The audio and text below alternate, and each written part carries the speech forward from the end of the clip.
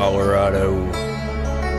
Across the hot swamps of Florida to the lakes of Tennessee. With the dog named Bandit by his side, he rides.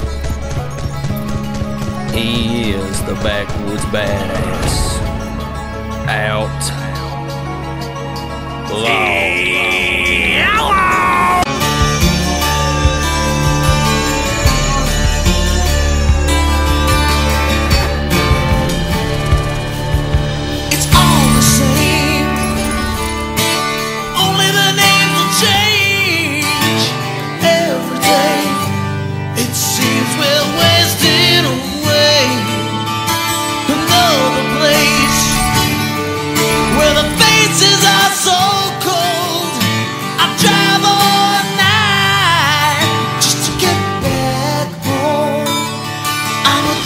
amor.